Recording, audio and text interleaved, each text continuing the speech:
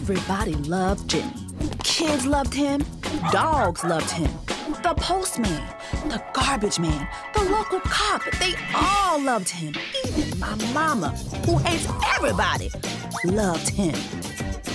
But when I found out that my sister Sharice loved him and he loved her back, uh-uh. Time for divorce court. Weekdays at 8.30 and 9 on WBNX TV.